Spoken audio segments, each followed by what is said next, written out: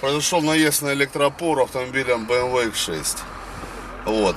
Как поясняет э, коллега водителя по работе, э, значит, гражданин разговаривал за рулем по телефону.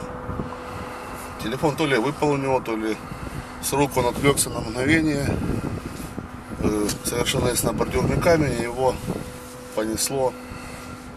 Э, Значит, понятно, что скорость была не 60 км в час, потому что какое расстояние он преодолел уже по зеленой зоне, по обочине, пока совершил наезд на.